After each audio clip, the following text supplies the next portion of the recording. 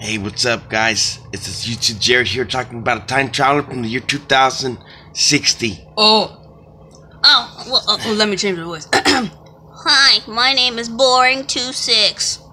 And so, Let me pretend like people are interested in this, and I'll hack in and I'll funnel a lot of traffic to this time travel thing.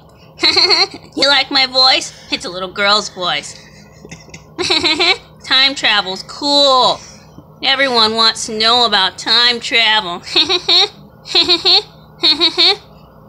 time travel. You know what else? Crackhead. If you don't like time travel, you're a crackhead. You're a crackhead. crackhead. I don't know if anyone still uses this word. It's like you know, b- back in probably like the uh, early 80s, maybe or 70s. But I'm born 2-6 and I'm a time traveler and everybody likes me. I'm so popular, I traveled back in time and made myself more popular.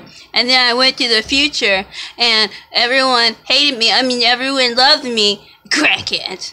Born 2-6, crackhead. Yeah, I'm in your consciousness. I'm everywhere. I'm awesome.